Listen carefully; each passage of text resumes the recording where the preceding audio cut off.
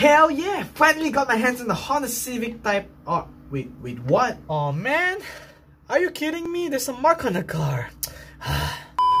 Alright, finally got my hands on this car right. It is freaking great! Hello, darkness, my old friend. Alright, let's crack this open. Oh man. Really, nigga? Alright, the new Ford Mustang GT coming out next week. And it's a USA exclusive. Damn, what a pretty mint card. Wait, it's it's curved a little bit. I just maybe gotta adjust it right. oh man.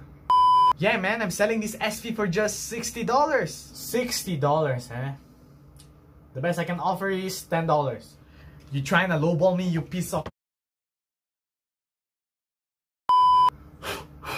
Man, this car is pretty dusty. What? Bruh.